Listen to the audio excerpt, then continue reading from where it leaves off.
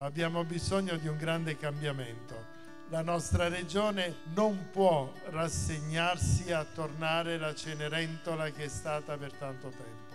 Deve tornare a recuperare un protagonismo, deve tornare a recuperare una capacità di disegnare, immaginare e realizzare un futuro, il futuro che merita.